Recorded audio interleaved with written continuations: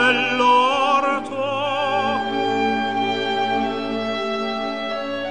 e un passo sfiorava l'arena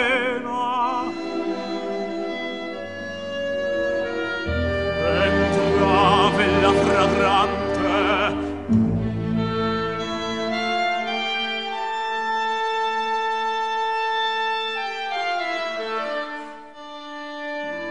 Mi cadeva braccia.